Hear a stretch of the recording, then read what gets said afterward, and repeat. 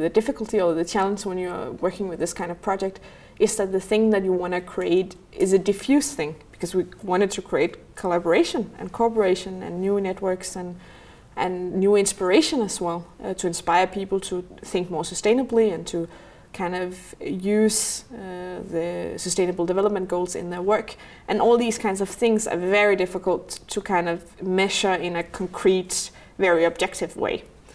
Um, so, so of course, as I as I told you, or as I talked a little bit about before earlier, we had some concrete outputs. We had a new Croatian that was created where we had a Danish company producing some of their um, products and uh, with the help of a Latvian company, and we had a Latvian participant being a part of a, a Danish uh, initiative and stuff like that. But uh, the way we kind of chose to do it was that our local partner, after the project, uh, they surveyed or talked with the participants that we had, uh, the pitching participants.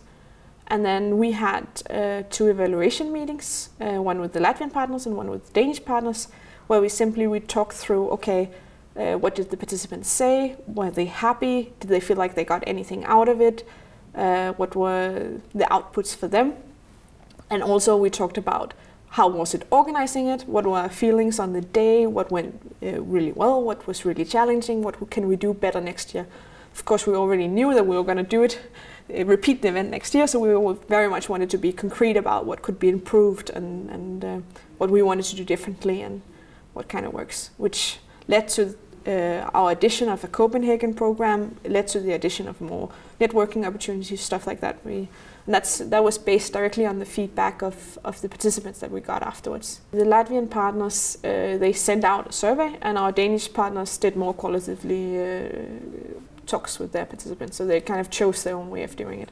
Some time after we did these surveys and these conversations where we at least knew where people were standing now and then we have this great uh, advantage that the local partners we are of course still in contact with because we're repeating the event, which means that when some of our participants are doing something new that's related uh, to to what we did last year, very often our local partners find out and they tell us. So we kind of have this advantage of having an ongoing communication with them simply because our local partners are doing other events and other activities. They're seeing these companies in different contexts. They're talking again over coffee or something like that. So we kind of always, uh, we're getting this ongoing, uh, in a way, uh, result on the longer, longer term impact. And that's the, again, great advantage of having local partners that are like on the ground. Um, I guess one, th one thing you could do is simply wait couple of years and then do the survey again if you can still.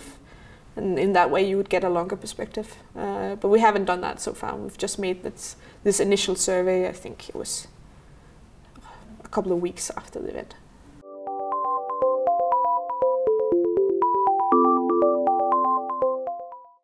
I think for this year, I would very much like that.